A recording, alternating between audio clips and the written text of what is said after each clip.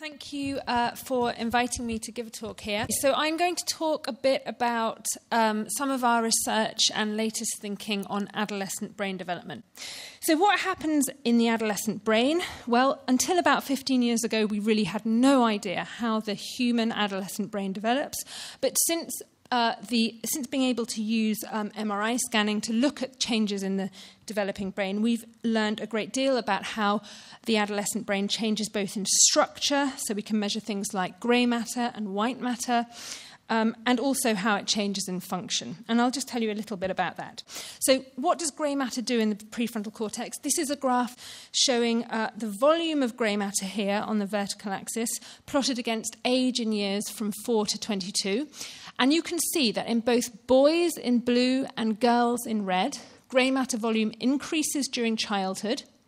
It peaks, this is what the arrows point to, it peaks uh, a little bit earlier in girls than in boys, and that probably corresponds to the slight difference in average age of puberty onset between the sexes. A little, puberty happens a little bit later in boys than in girls.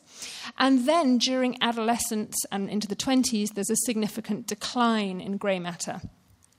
One thing to say at this point is that we don't know what that decline in grey matter volume corresponds to at a cellular level because MRI doesn't give us the resolution to see the brain at a cellular or synaptic level. But we suspect that it corresponds, at least in part, to a really important neurodevelopmental process where synapses, that is, connections between brain cells, um, are pruned away according to whether they're used or not used in a particular environment. In other words, we suspect that, at least in part, this decline in grey matter volume during adolescence um, reflects the fine tuning of brain tissue according to the environment that the adolescent is in.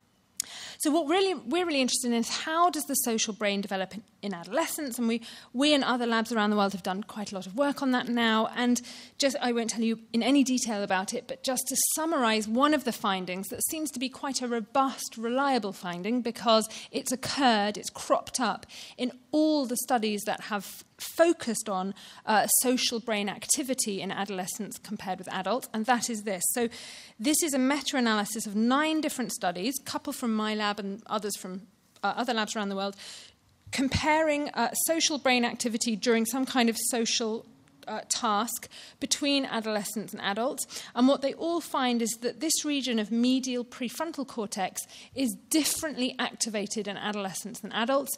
It tends to be more highly activated in, adult, in adolescents than in adults. So its activity decreases with age as you go from early adolescence to adulthood. Now, we don't know why um, adolescents use this region of the brain more than adults do, but we think it might be because they use a different cognitive strategy to do these kinds of social tasks. So that's my final slide, just to summarize now and to think a bit about what the implications are for education. Well, firstly, the brain, the adolescent brain is still developing. I've just given you a kind of snapshot of how, but there is now a vast uh, literature on how the adolescent brain is, is developing in many different areas. Um, it's highly malleable and flexible. This is a really important time of opportunity for learning and creativity. Um, we know that synapses, connections, are being pruned away during adolescent, the adolescent years, uh, and that suggests that uh, adolescent brain development is can be is influenced by the environment. And of course the environment can mean lots of things from culture to social environment to um, uh, potentially damaging um, stimuli like alcohol or drugs, and also, of course, education is an environmental influence. And it's possible that people are starting to talk, about adolescence as representing a second period, sensitive period of brain development. Finally, risk taking and social influence uh, are often kind of maligned as like bad adolescent behaviors, but actually, our take on, the, on these behaviors is that they are adaptive and important. It's important to take risks. Where would we be if we never took risks.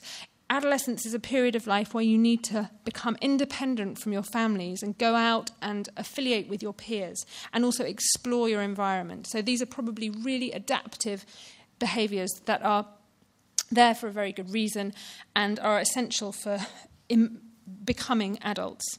So we need to harness the adolescent propensity, natural propensity to take risks, and foster it in, uh, in settings like the classroom.